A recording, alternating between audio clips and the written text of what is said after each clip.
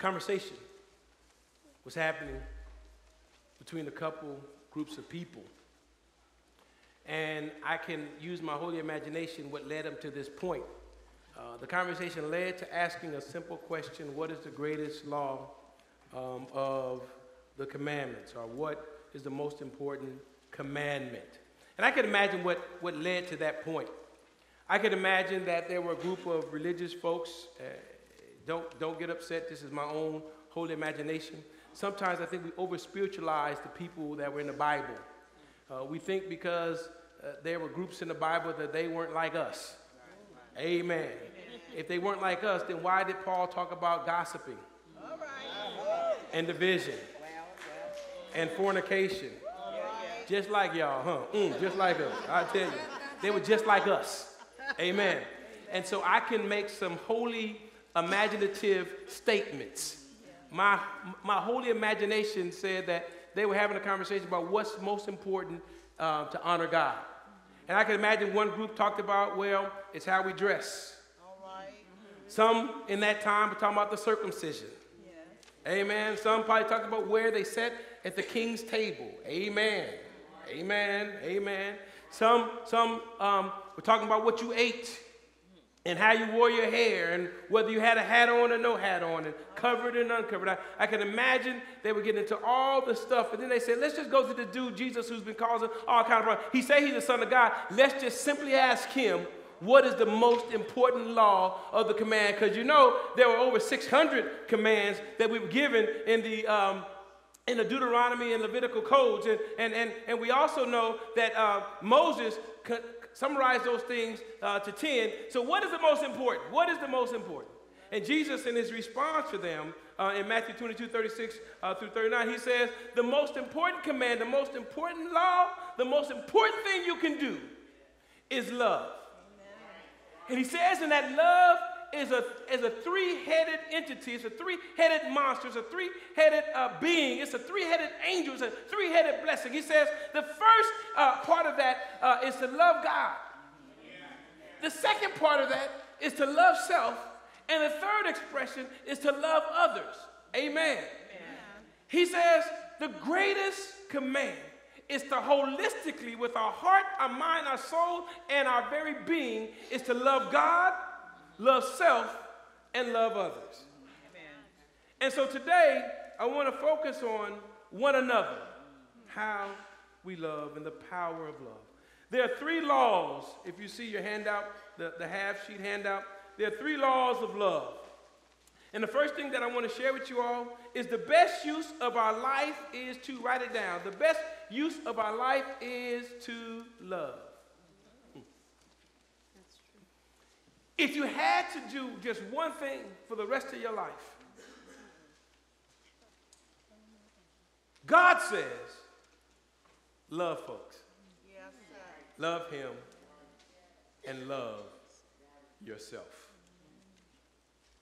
Does that make sense? Yes. And so, so, so why? Why? Because there, there, are, there are four things I want to share with you really, really, really quickly. One is if you look at it, love validates our faith. All right. Amen. Nothing else matters.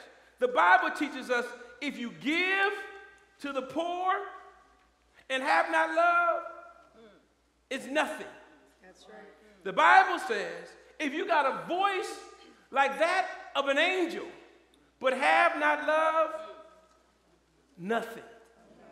As a matter of fact, um, whatever does not love does not know God because God is love. That's what First John 4 and 8 says. It validates our faith. Our faith is not validated by the positions we hold. It's not validated by the positions um, that we take politically.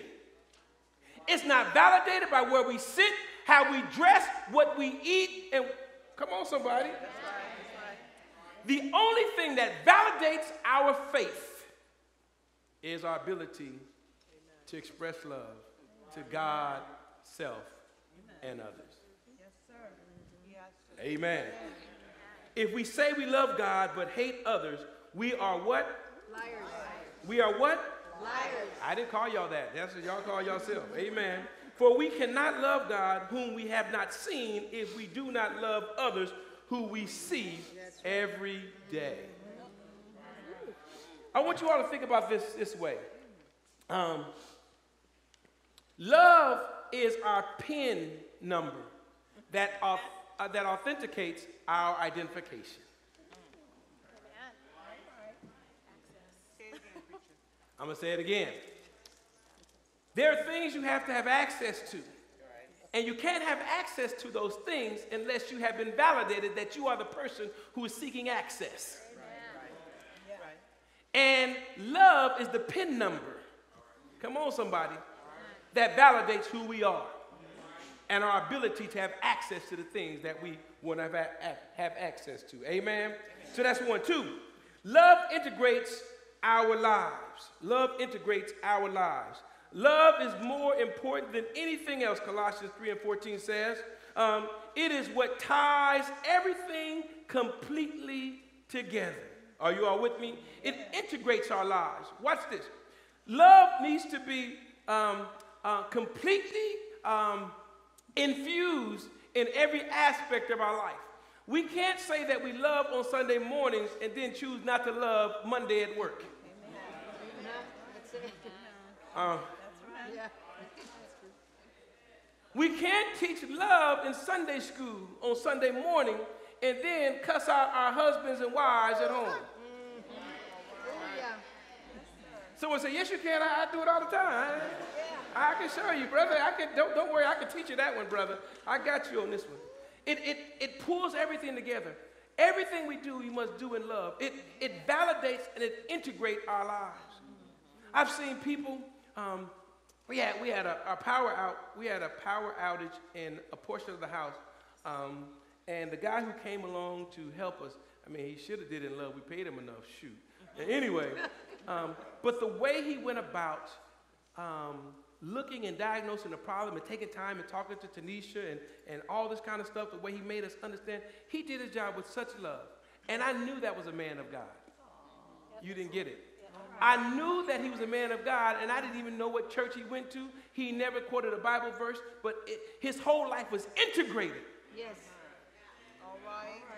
All right. Does that make sense? Does anybody ever know you, a man or woman of God, who didn't see you leaving church? Hmm. Does the life of love integrate or permeate every aspect of your being? Number three, quickly, I'm going quickly. I'm sorry. If I'm going too fast, tell me to slow down, Reverend. All right. Y'all want me to go fast. That's cool. So, one, uh, the best use of our life is to love. And why? There's three, there's four reasons. One, love validates our faith. Two, love integrates our lives. Three, love compensates for my sins. Yes. Lord have mercy. Most important of all, continue to show uh, deep love for each other, for love covers what? A multitude of sins. Watch this, watch this, First Peter uh, 4 and 8. Watch this. There's two things you need to understand about this. One, it says that love covers a multitude of sins. Please hear me on this. There's the first action. The first action is that Jesus' act on the cross covered our sins. Lord have mercy. In other words, when we sin, let me, some, someone say sin, I don't know what that means. When we blow it, when we miss the mark, when we transgress, when we do what we know we ain't supposed to do and try to justify, come on and, y'all, y'all, y'all know what I'm talking about? When we blow it, there's a penalty and a fine that comes with that missing the mark. And that needs to be covered. It's like sitting at a table eating food at a restaurant. Whatever you eat has to be paid for. Whatever you consume, the bill has to be covered. Whenever we miss the mark, we have a debt or a bill that has to be covered. And it says there's some things that can't be covered by us. The sin is so deep, it must be covered by a blood sacrifice. And it says that Jesus' blood covered our sins. so that we can have access to heaven Yeah. because our sins have been covered. It covers a multitude of sins. And your sins may not be my sins, and my sins may not be your sins. But I want you to understand that you got a sin, and I got a sin, and all God's children got a sin.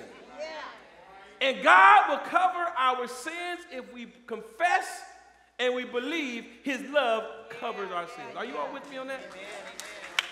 But the second thing, that once we realize that our sins have been covered, someone has paid the price for the debt that we have made. Watch this. Then the second thing kicks in is that we let others off the hook. All right. All right. I'm just gonna finish now. Let's just have communion because y'all not with me today. I'm just saying. Because y'all was with me. How many y'all was excited when you said, Reverend, my sins are covered? And, you thought about some of the stuff that you couldn't believe that God covered. Amen. amen. Amen. But let me tell you something. If you're gonna re, uh, be a recipient of God's incredible covering, then you have to let some folks off the hook when they hurt you.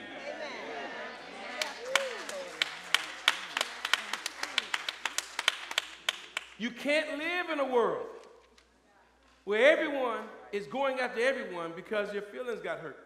You know, one of the things I just could I just take a moment to say this? One of the things that we, we really misrepresent, I said we, eh, us preachers, we take 1 Corinthians chapter 13 and we read that in weddings all the time because we say that's the, that's the scripture for weddings and marriages. Well, actually, that scripture is a scripture that Paul wrote for Christians how to live with each other. And part of that, that pericope is that love keeps no record of wrongdoing. It works for marriages too, but it also has to work for us in relationship one another. You know, one of the things I said to someone, uh, we were talking the other day, and I said, you know what kills me? What kills me when people make up stuff that I've done. I'm like, that's so dumb.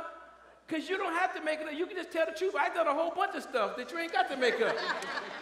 How many of y'all know you see you ain't got to make up no stuff? I got stuff. Making up stuff, man. I got some good stuff I'd have worked hard to be in. Just, just talk about this. Love validates our faith. Love integrates our lives. Love compensates for our sins. Watch this. And love reverberates forever. There are three things that will continue forever faith, hope, and love. And the greatest of these things love. Let me just take a moment to talk about this for just a moment. I told you I won't, I won't be long. Uh, I'm almost halfway, not finished, but I just wanted to encourage you. Um, what we do in love lasts longer than we can do in the material world. It lives far beyond anything else we can do. Let me just give you a real, very personal uh, moment. I, I told you all, you know, uh, I was talking to one of the preachers at the game, and he says, How's it going? I said, Man, it's going well. I said, But you know, I, I find myself thinking about some of those who have transitioned, have gone on since I've been here. Uh, in particular, I was talking about Mrs. Dover. Uh, yesterday, I was at a hometown buffet with some of the new members, and I just that was our spot. Mrs. Dover would call me every now and then and say, uh, "It's time for you to take me to lunch." she didn't say, "Can we go?" She said, "It's time," and I and then she would say, "Clear your calendar from this time to this time because we got a lot of stuff to talk about." And one of the days we were over at the hometown buffet and we were sitting there talking, and she just kind of stopped in the middle of her conversation and she says, "You know." She said, she calls him Dover. You know, Dover loved me so well that even in death, I still feel his love. Amen. Amen. She said that he cared for me so much that he provided for me to have the same lifestyle that I have now that he was when he was alive. She said his love lasts forever. Oh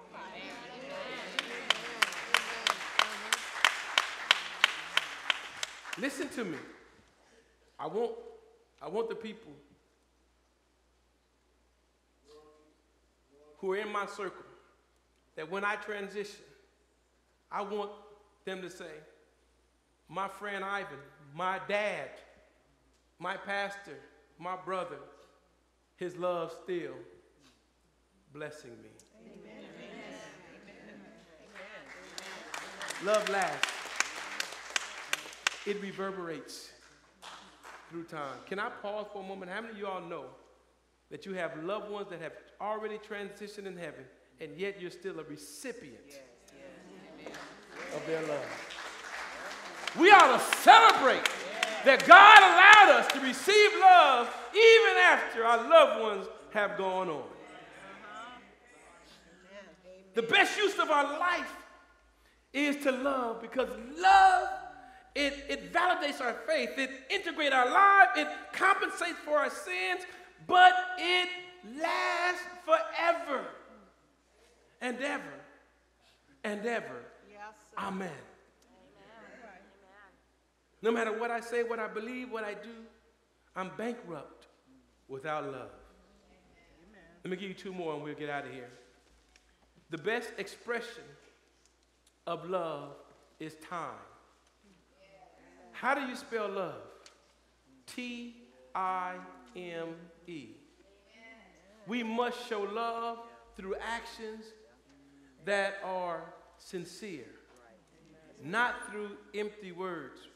It's amazing. Um, I'm, I'm amazed at, at how we talk about every generation and how young people, uh, kids, can teach a very powerful lesson um, there was a social worker. There was a social worker who worked with a family, and and and this little boy had to choose between living with his mother or his father.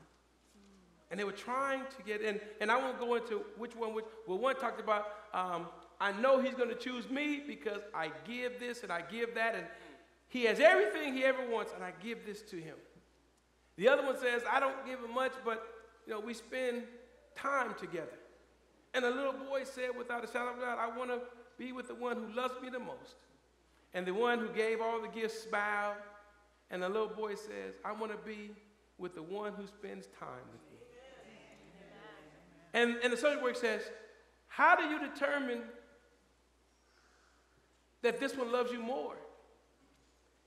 And he says, Because this one spends time with me.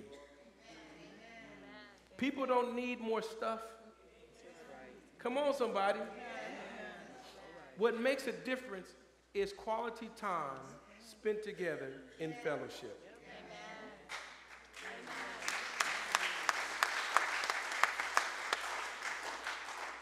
The only thing that counts is faith expressing itself in love. Live a life filled with love for others, following the example of Jesus Christ, who loved you and gave himself as a sacrifice to take your sins away. The most important thing that we can do is spend time with those we love. Some of us, you know, it's, it's interesting that um, we break our necks to give our families homes that are large enough for everybody to go to their own corner and not be seen.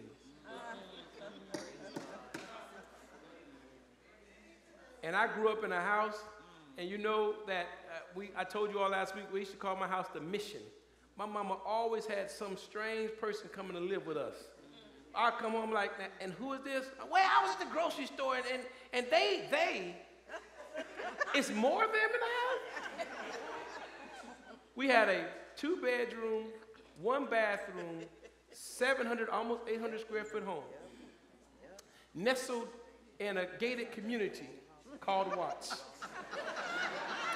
Situated between the Nickerson Garden, come on somebody, and Avalon Court projects. And we were all over each other. And I'm gonna tell you, I didn't even know we had a, a bathroom door in our house because we doors never closed. People just went good and they came, right? But we were so close because we spent time. We were forced to spend time with each other. And now we we don't spend time with each other. We break our necks to be able to go into our separate corners. love is time. Amen. The last thing as I close, I told you all the best use of our life is to what? To love. I told you all um, the best expression of our love is what? Time. And the best time to love is when? Now. now. The best time to love is now. Whenever we have the opportunity, we should go, uh, we should do good to who? Everyone. To who? Everyone. When should we do that? Now. Don't wait till tomorrow.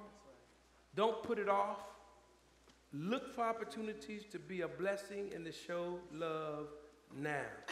Use every chance, Ephesians 5 and 16 says, use every chance you have for doing good. Um, Proverbs 3 and 27 and 28 says, whenever possible, um, whenever, uh, whenever possible, whenever you possibly can, I'm sorry, do good to those who need it. Never tell your neighbor to wait until tomorrow if you can help them now. It also goes on to say, uh, eagerly pursue and seek to acquire love. Make it your aim. Make it your great, greatest quest. That's 1 Corinthians 14 and 1. It says that our aim now, not next week, now should be to love. Let me give you two things and I'll take my seat. The one thing I want you to understand is that if you ever feel like your life is empty, then I challenge you to make love your aim. If you make love your aim, God will fill you until you want no more. You will never be bankrupt. You'll never be empty if you spend your life trying to make a difference. And here's the thing I want you to understand you don't have to look hard. You can probably start right in your own home. One, one, one young lady um, told me that she was going to try to be more loving and she was going to start by not being so negative around the people she's closest to. She called me two hours later. She said, I need to do something else. she said, she said, it's hard to do this, right? And, and, and, and so what I want to say to you all is this, that love is not easy. Love is a choice. It is not a feeling. It is something we do in spite of how we feel. But when we make a commitment and choose love, God will fill us with the power from on high and we will see that we can do more than we could ever think, hope, or imagine because greater is He that's in me than He that is in the world.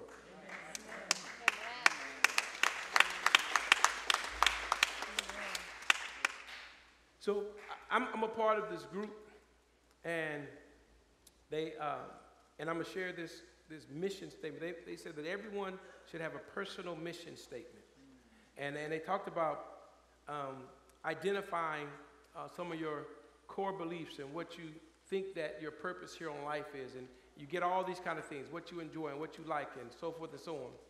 And then, and then it goes on to tell you that um, you're to take those kind of core things that are who you are and try to theme them up, make themes, uh, uh, categories. And then from those categories, um, um, they wanted us to text. They told us to text uh, five or six people who are close to you and say, Do you think that these things are indicative of who you are? And the people would respond back. And so, and so, um, and from that, we made a statement that we should live by. I'm going to share my statement in just a moment. But one of the things that I want to do with the young adults, um, if they would give me the opportunity, I would love to go through that exercise with young adults. And I think that this exercise will help guide our lives and everything that we do. Many people don't have direction because they don't have a vision for their life. If you know who you are and how God wired you and what God placed you here for, that becomes the uh, determining factor of how you, lo- how you move and how you make decisions and what jobs to take and what opportunities to say no to and things like that because you got to know who you are. Amen? Amen? And so, and so the overwhelming um, uh, things that came back for me were things around laughter, around love, and around inspiration. And so I came with this statement, and I would love for you all to give me feedback because I go back at the end of this month um, saying that yes, I accept this statement or not. So my statement in life, what I'm going to use to guide my steps, my faith was a part of that as well. To guide my steps is that I desire to do simply three things for the rest of my life. I want to love sincerely. I want to laugh deeply. And I want to inspire others to do the same. Let me give it to you again. Love sincerely for me means to spend time with folks, to slow down and spend time, focus time. Put your cell phone down, Reverend, and spend time being present, loving sincerely. I want to laugh at myself and at you. And I want to laugh as often as I can, and I want to hurt my ribs for laughing so hard. And then I want to inspire you to do the same. I don't want you to take life so serious. I want you to relax a little bit. If you got some hair, let it down. If you got to buy it, buy it and let it down. Amen.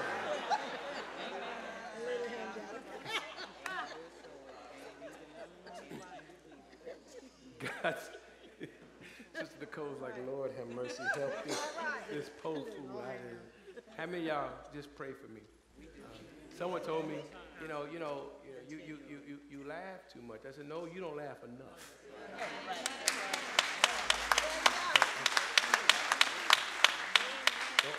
Don't, set, don't set your standards on me. God wired me this way. Amen. I'm gonna be who I'm is. Does that make sense? So we've learned two weeks ago, um, be hospitable for one another. Last week we talked about consider one another. Today I want to tell us and encourage us to what? Love one another. For love is the most important thing. Uh, the best use of our life is to what? Best use of our life is what? The best expression of our love is what? Time. And lastly, the best time to love is when? Now. Good. Stop what you're doing, lean over to someone and say a word of encouragement, give someone a hug because the time is now. Come on. Show an expression of love.